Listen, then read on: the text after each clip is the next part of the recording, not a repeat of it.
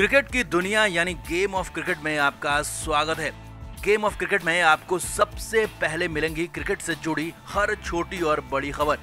Cricket के हर नए update के लिए गेम ऑफ़ क्रिकेट को सब्सक्राइब करें और उसके बाद बेल आइकन को प्रेस करना ना भूलें ताकि सिर्फ़ आपको मिले गेम ऑफ़ क्रिकेट की हर खबर सबसे पहले। महेंद्र सिंह धोनी के नेतृत्व में चेन्नई सुपर किंग्स इस सीज़न ज़बरदस्त खेल दिखा रही है और सीएसके ने अब तो प्लेऑफ के लिए भी क्वालिफाई कर लिया है। इस सीज़न चेन्नई की सबसे खास बात यह रही है कि जिस सनराइजर्स हैदराबाद को कोई भी टीम नहीं हरा पाई, उस एसआरएच को चेन्नई ने दो बार हराया।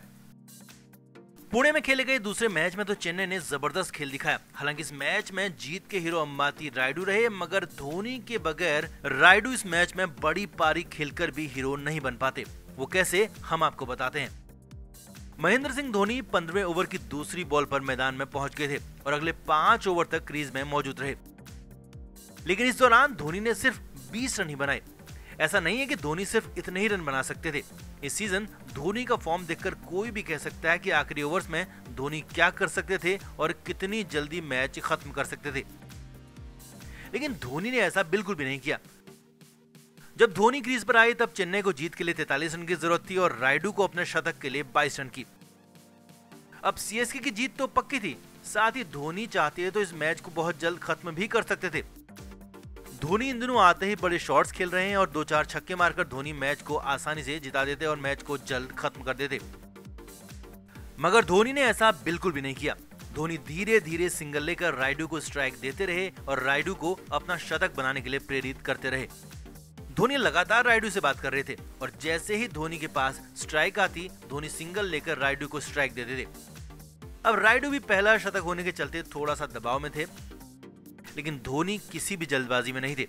इसी वजह से आखिरी तैतालीस रन बनाने में पूरे पाँच ओवर लग गए।